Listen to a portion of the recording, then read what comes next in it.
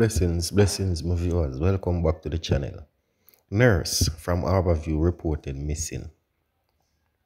35 year old Sean Dawn Smith, a nurse of Coffin Lane, Harbour View in Kingston, 17, has been missing since Saturday, February 17. She's a brown complexion and is about 165 centimeters, 5 feet 5 inches tall. Reports from the Harbour View police are that about 11 a.m. Smith was last seen wearing a brown blouse and a shorts. All efforts to locate her have been proven futile, the police said. Anyone when the whereabouts of Dawn is to ask to contact the Harbour View police at 928 6001. The police 119 emergency number or the nearest police station to you. Yeah, man, help me find Dan urgently, my viewers and my subscribers. Any little crucial information you know, have, just circle it around. Help us find a nurse here because she's of a lot of importance. A lot of importance. We want to find Dan quick and fast, my viewers and my subscribers. So let's get some work done.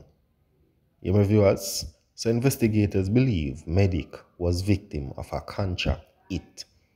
Police investigators believe popular entertainer Medic was the victim of a contract killing. However, the police have declined to commit further citing on the ongoing investigation. The disclosure came yesterday, hours after the police reported the fine of her remains.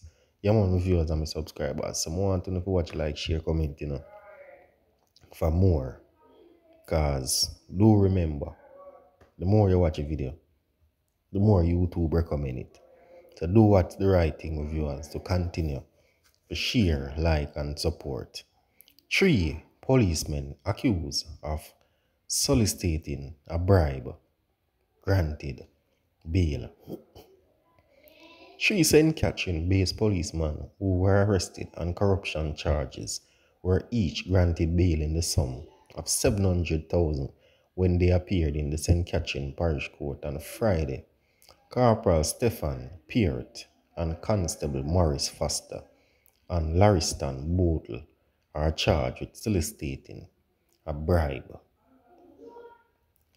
Senior Parish Court Judge Yvette Wentworth Miller ordered the men to report twice weekly to the police. It is alleged that on February 6, 2021, the policemen were on duty when they stopped a car for reported breaches of the Larceny Act. The vehicle was taken to the Central Village Police Station in St. Catherine, where the complainant was reportedly told to do something the man reportedly gave the policeman 50,000. A subsequent report was made to the police which resulted in an investigation and a ruling from the Office of the Director of the Public Prosecution on February 21st this year. The cops should be charged. A Ford policeman who was reportedly involved in the incident is overseas after he resigned from the Jamaica Constabulary Force. He is still being sought. The matter is set again to mention on April 26. So this a policeman that take off himself because he know what's coming in. So he make sure take off himself and fly overseas and left the force. But anywhere you go, the law will find you. Blessings.